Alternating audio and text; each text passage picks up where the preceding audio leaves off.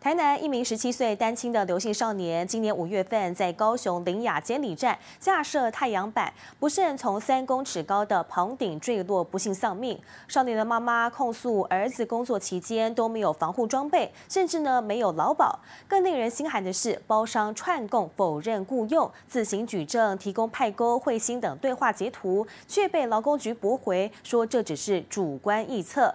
如今提出告诉，希望能够讨回公道。提倡绿能，各地也开始进行绿化工程，只是这过程似乎有漏洞，闹出人命。身穿黄色工作服，协助装设太阳板，站到棚顶上，才年仅十七岁的刘姓少年，疑似因为没有任何安全措施，当场发生憾事。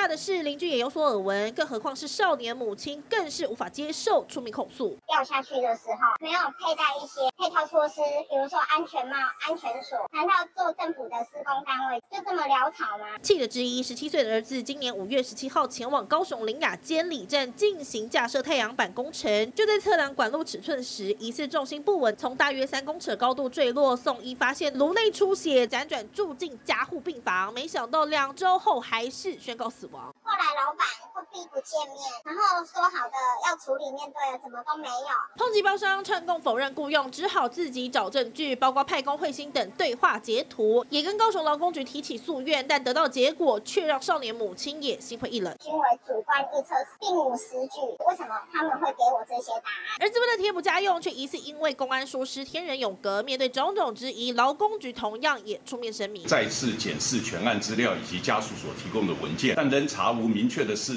可认双方具有雇佣关系。尽管没有相关防护措施，也已经开罚十二万元罚款，但要家属怎能接受？目前也已经提告，要的就是一个公道。这谈高手做不到。